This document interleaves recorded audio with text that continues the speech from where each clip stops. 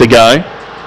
Second row linking into their positions. Green light is on. They're ready for a start. Race four. Set. Racing, winning the start cruisies, away okay. Luca Rocket now mustering through. Corborn Dolly across from the deep and pushing on Mickey Raven. Next in the field was Red King Prince, followed by Ohio Fernando, Dallas Fernando and a lot of Zulu. Rounding the turn, cruisies in front. Luca Rocket giving chase. Back to the inside, Corborn Dolly. Cruisies, Luca Rocket. Luca Rocket the inside. Luca Rocket, one and a half length.